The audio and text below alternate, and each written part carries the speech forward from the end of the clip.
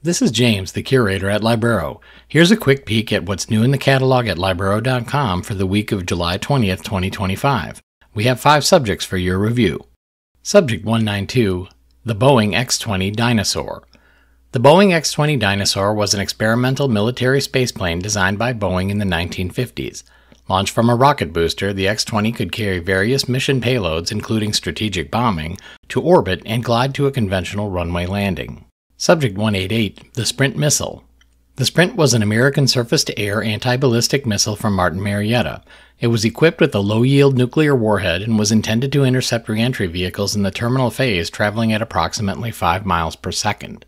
Subject 189 The Lockheed Martin LOCAAS. The LOCAAS, or Low Cost Autonomous Attack System, was a loitering submunition built by Lockheed Martin. Capable of autonomous loitering for up to 30 minutes, LOCAAS included a target recognition system to detect and destroy targets that matched a predefined signature. Subject 190 C. Gordon Fullerton.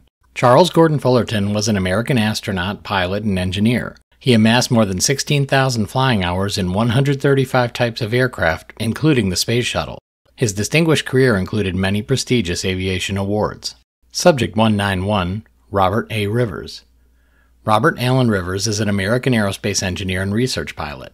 He has flown more than 70 types of aircraft, taught astronauts to land the space shuttle, and was the only pilot to fly both the Concorde and Tu-144 supersonic transport aircraft. There are many more aviation and aerospace subjects in the Libraero catalog.